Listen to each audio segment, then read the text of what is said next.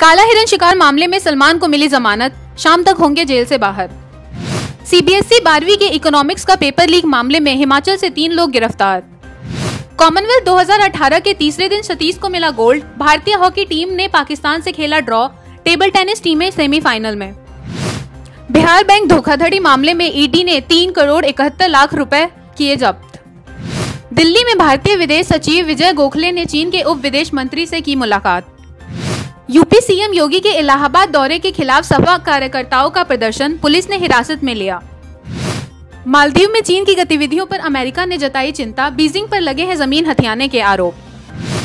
सगाई से पहले पिता लालू प्रसाद से मिले तेज प्रताप, लिया आशीर्वाद।